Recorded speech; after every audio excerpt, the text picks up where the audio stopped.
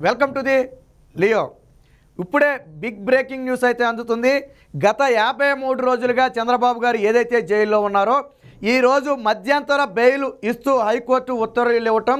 రెండు తెలుగు రాష్ట్రాల్లో కాదు దేశ విదేశాల్లో ఉన్న తెలుగు వారందరూ కూడా ఆ సంబరాలు చేసుకునే పరిస్థితి. ఇప్పటికే యాభై మూడు రోజులుగా ఏదైతే స్కిల్ డెవలప్మెంట్ కేసులో ఆధారాలు లేని కేసులో గత యాభై మూడు రోజులుగా చంద్రబాబు గారు జైల్లో ఉన్నారో మనం చూస్తూనే ఉన్నాం. ఆ ఏసీబీ కోర్టు నుంచి హైకోర్టు సుప్రీంకోర్టు వరకు ఈ కేసులు నడుస్తూనే ఉన్నాయి. బట్ ఎక్కడా కూడా చంద్రబాబు గారు గత యాభై మూడు రోజుల నుంచి కూడా ఊరట లభించలేదు. ఒక పక్క ఆధారాలు లేకపోయినా కానీ చంద్రబాబు గారి విడుదలపై ఆ జాప్యం జరుగుతుందంటూ జాతీయ మీడియా సైతం ఆ కోడే కూసింది. మనందరికీ తెలుసు జాతీయ స్థాయిలో చంద్రబాబు గారికి పెద్ద ఎత్తున మద్దతు లభించింది. సో ఈ పరిణామాల నేపథ్యంలో గత యాభై మూడు రోజుల నుంచి ఎటువంటి ఆధారాలను కూడా కోర్టుల ముందు ప్రవేశపెట్టకపోవడంతో అటు హైకోర్టు కానివ్వండి సుప్రీంకోర్టు కానివ్వండి ఏ కోర్టు ముందు కూడా ఏసీబీ ఆ ప్రాథమిక ఆధారాలను కూడా ప్రవేశపెట్టలేదు. అలాగే మరో పక్క చంద్రబాబు గారి హెల్త్ కండిషన్ ఏదైతే ఉందో గత కొద్ది రోజులుగా ఆందోళనకరంగా ఉన్న విషయం మన అందరికీ తెలిసిందే.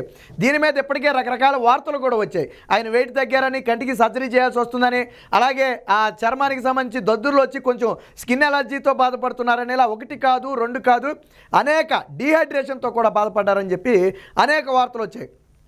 ప్రభుత్వ వైద్యులే చంద్రబాబు గారికి కంటికి వెంటనే సర్జరీ చేయాలని రిపోర్ట్ ఇచ్చినప్పటికీ కూడా ప్రభుత్వం ఆ బలవంతంగా పేగ మీద కత్తి పెట్టి దాన్ని మార్పించి ఇచ్చారని చెప్పి లోకేష్ కూడా మాట్లాడటం జరిగింది.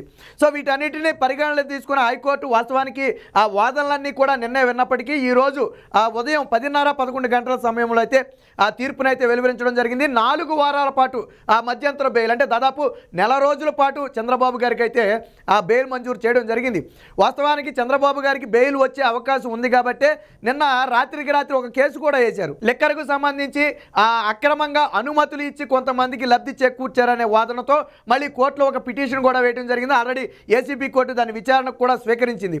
అంటే చంద్రబాబు గారు ఈ రోజు ఖచ్చితంగా బయటకు వస్తారని చెప్పి తెలిసే రాత్రి ఆ ప్రభుత్వం మరొక దొంగ కేసును పెట్టిందని ఇప్పటికే టీడీపీ నేతలు అయితే ఆరోపిస్తున్నారు ఏది ఏమైనా సత్యం గెలిచింది ధర్మం నిలిచింది చంద్రబాబు గారు మచ్చలేని వ్యక్తికి ఎందుకంటే ఒక్క ఆరోపణ కూడా నిరూపించలేదు. మచ్చలేని వ్యక్తిగా ఈరోజు ఆ బెయిల్ మీద అయితే బయటకు వస్తున్నారని చెప్పి టీడీపీ శ్రేణులందరూ కూడా ఆ రెండు తెలుగు రాష్ట్రాల్లో కూడా సంబరాలు చేసుకునే పరిస్థితి. గత యాభై మూడు రోజుల నుంచి టీడీపీ శ్రేణులు కానివ్వండి చంద్రబాబు గారు మద్దతుదారులు కానివ్వండి ప్రజలు కానివ్వండి చంద్రబాబు గారు క్షేమంగా బయటికి రావాలంటూ ఆ మొక్కని దేవుడు లేడు తిరగని గుడి లేదు అంటే అతిశయోక్తి కాదు. సో మొత్తానికి ప్రార్థనలన్నీ ఫలించాయి. చంద్రబాబు గారి మీద ఒక్క ఆధారం కూడా ఇప్పటి వరకు ఆ కోర్టులో ప్రవేశపెట్టలేదు. రేపో మాపో స్కిల్ డెవలప్మెంట్కి సంబంధించిన క్వాజ్ పిటిషన్ కూడా క్వాష్ కాబోతుంది. ఖచ్చితంగా సుప్రీంకోర్టులో చంద్రబాబు గారికి అనుకూలంగానే తీర్పు వచ్చే అవకాశం ఉందని ఇప్పటికే న్యాయ నిపుణులు చెబుతున్నారు. బట్ తీర్పు ఏంటంటే కొంచెం వాయిదా పడుతూ ముందుకెళ్తుంది. ఇక్కడ హైకోర్టులోనే చూడండి ఇన్ని రోజులు వాయిదా తర్వాత చివరికి చంద్రబాబు గారికి మధ్యంతర బెయిల్ వచ్చింది. సో అంటే ఖచ్చితంగా ఆలస్యం కావచ్చు బట్ అంతిమంగా న్యాయం గెలుస్తుంది ధర్మం గెలుస్తుంది అనడంలో ఎటువంటి సందేహం లేదు. ఏది ఏమైనా చంద్రబాబు గారు యాభై మూడు రోజుల తర్వాత ఆ విడుదల కావడంతో రెండు తెలుగు రాష్ట్రాల్లో కూడా పండగ వాతావరణం చోటు చేసుకుంది. ఇదే సమయంలో వైసీపీలో అలజడి. ఎందుకంటే చంద్రబాబు గారు బయటకు వచ్చిన తర్వాత ప్రజల నుంచి ఆయనకు వచ్చే మద్దతుని ఆ చూసి వైసీపీ నేతలు కూడా కలవరపడి వచ్చే అవకాశం ఉంది. అందుకనే ఆయన రాకూడదనే రాత్రికి రాత్రి మళ్ళీ ఒక లెక్కర కేసునైతే అయితే మరి నాలుగున్నరేళ్ళు ఘటన లెక్కర కేసు రాత్రికి రాత్రి ఎందుకు పెట్టారు అంటే ఖచ్చితంగా ఈరోజు బెయిల్ వచ్చే అవకాశం ఉందని చెప్పి వాళ్ళకు కూడా అర్థమైపోయింది. ఎందుకంటే యాభై మూడు రోజుల నుంచి ఆధారాలు లేవు ప్రాథమిక ఆధారాలు లేవు. ఆయన ఉండాల్సిన దానికంటే ఎక్కువ రోజులే జైల్లో ఉన్నారు. ఎందుకంటే ఆల్రెడీ ఈ కేసులో థర్టీ సెవెన్గా ఉన్న చంద్రబాబు గారి కంటే ముందున్న వారందరికీ బెయిల్స్ వచ్చాయి. సో అలాంటిది ఖచ్చితంగా చంద్రబాబు గారికి రేపు బెయిల్ వచ్చే అవకాశం ఉందని చెప్పి ఆ అనుమానం వచ్చిన నేపథ్యంలోనే ప్రభుత్వం రాత్రికి రాత్రి మళ్ళీ ఒక దొంగ కేసును పెట్టింది. ఇక ఎన్ని కేసులు పెట్టినా చంద్రబాబు గారు నిజాయితీని నిరూపించుకుంటారు. మీరు పెట్టిన స్కిల్ డెవలప్మెంట్ కేసులోనే ఇప్పటి వరకు ఆధారాలు చూపించలేదు. ఏదైనా తెలుగుదేశం పార్టీ నేతలు మాత్రం రెండు తెలుగు రాష్ట్రాల్లో ఆ సంబరాల్లో మునిగిపోయారు. చంద్రబాబు గారు రాకను ఆ స్వాగతించడానికి ఆల్రెడీ ఏర్పాట్లు కూడా సిద్ధం చేసుకుంటున్నారు.